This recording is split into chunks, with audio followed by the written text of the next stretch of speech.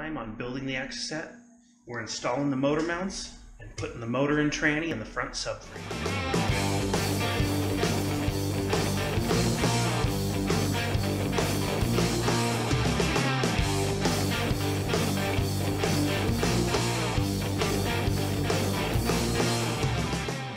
Okay, so first off, before inserting the motor, is um, I'm going to be installing the motor mounts onto the engine block. Uh, I was a little confused with all these different holes on where the proper location to bolt the motor mounts was, but um, talking to a couple people, I found out it, there's only one direction that the motor mounts can be installed. The rest of these are for uh, front wheel drive cars for mounts and so forth. So um, basically, this is the driver's side and the driver's side mount, just to give you a good visual on that of the shape and area that it sits in. Then this side I found takes the three of the four shorter bolts. Now moving over to the passenger side, here, this mount looks like this, and it will mount in to these holes here. So basically, um, this hole, this hole, and this hole are the mounting locations. Now, this hole and this hole take the two longer bolts, and this hole here takes the fourth shorter bolt. So that should help you with those. Uh, once you're done with that, then you need to properly torque them down. Um, I will let you know the torque specs here in a sec once I get my torque wrench up. Okay, then these engine mount bolts here torquing them all down. Uh, the torque spec is uh, it goes around 30 up to 38 foot pounds. So I'm going to do 35 foot pounds on uh, my motor mount bolts there.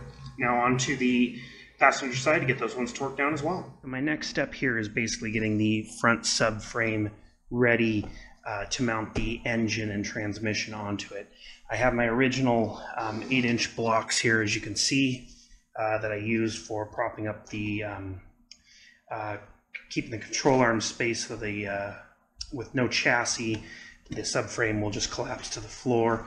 Uh, I got that blocking in this side and I have mounted the old nasty which I feel really bad about doing but putting the old nasty uh, uh, wheels and tires on here. I have my new wheels I just have not bought tires yet so um, having these mounted on here I'm going to go ahead and do the other side and then that will prop the subframe up enough that I can get a couple jack stands underneath it and uh, and then get ready for installing the motor and tranny onto the subframe. Just give a quick overview of kind of how this is going to go as I'm not going to be able to do any explaining while I am actually uh, mounting the engine in the subframe because I'm going to be quite busy uh, juggling parts around.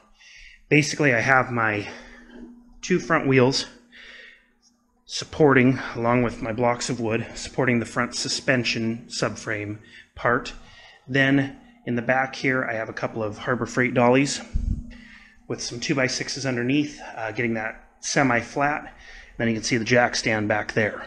Um, idea is I need to get these pins that are on each side of the motor mounts have to go in these holes.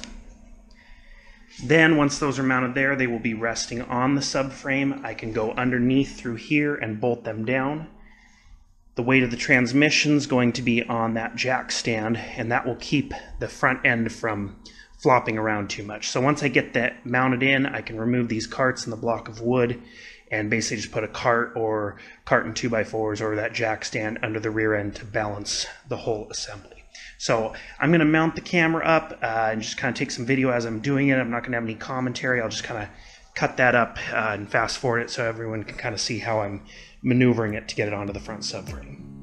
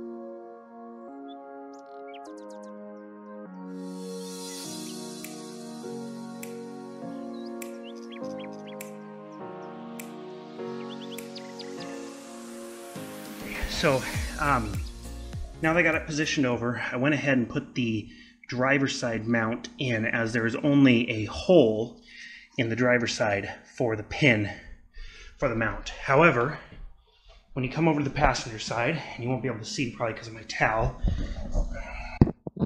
there is not just a hole like this. There is this whole slot here.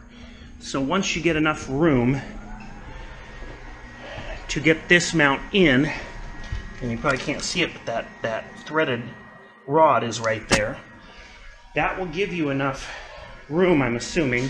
That's why this is has a line notched out so that this can come down and slide into that hole.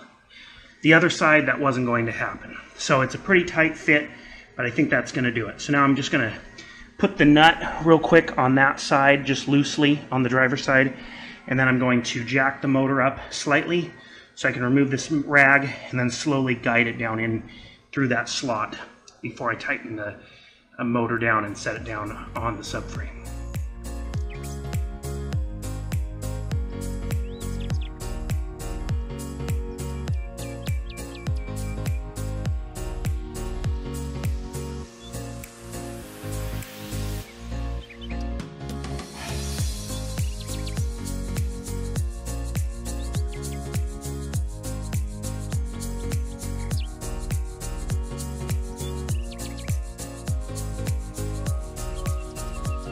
Okay, so right now I still have the crane here and hooked up. It's loose, but the motor is sitting on the subframe. But before I remove the crane, I'm just going to crank these uh, lock bolts that are up inside there for the motor mounts. Lock, get these lock nuts um, tightened down here to get it all locked into place. They're pretty hard to access here um, just because there's a lot in the way. I'm not going to torque them down yet until I get the uh, crane removed, but I'm just going to get them uh, tight enough with a wrench that I feel stable enough to remove the crane.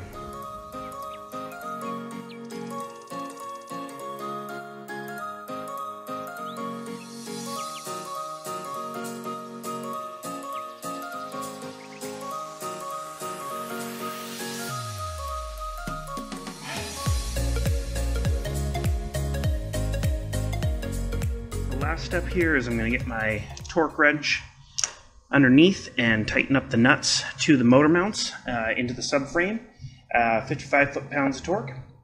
And once I get that torque down, then basically the engine installation is complete for this video. Next video, I'm going to focus on connecting the drive line to the rear differential and uh, installing the power plant frame.